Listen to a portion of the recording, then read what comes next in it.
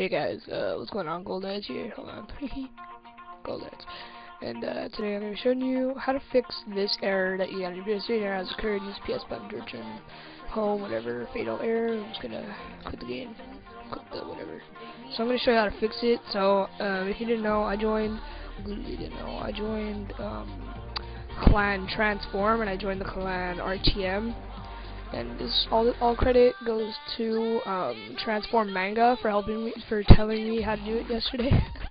so I'm just gonna use I'm gonna use some file manager because I'm lazy to edit like computer use FTP black box, but you can use whatever you want um, to do this.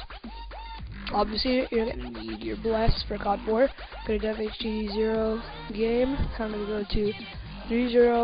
Um, what is it? Um, seven seven. Oh yeah, three zero. No, what? What was it again? Something seven two.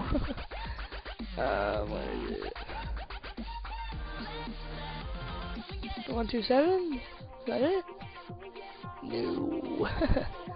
oh fuck, I remember. Three, yeah, three zero nine two seven. Then you're gonna see um. What, what was? Let me open my Skype for a second. Hold on. Okay, so guys, I Skype of my friends, and it's bless3072. And then gonna go to you'll. You're gonna see eboot.bin and eboot underscore mp.bin. So what you're gonna do is go to the eboot.bin. I'm gonna delete it. Go eboot.bin, and I'm just gonna rename it to eboot underscore mp.bin. You're gonna rename it to eboot.bin.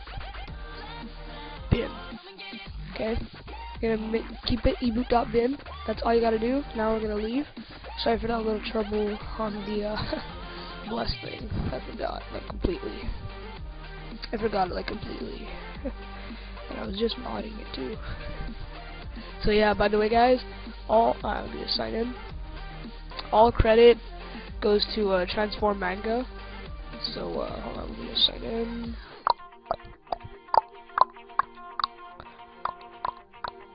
There you go.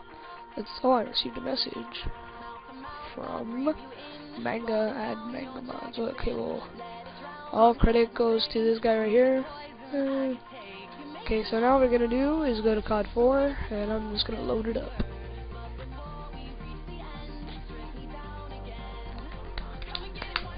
Okay, and now, right off the bat, it's, it's automatically just gonna bring you to the multiplayer. Like, because you named the eboot dot underscore mp. There you go. You just go straight to multiplayer, and clearly I'm online. I didn't need to plug out my router or anything.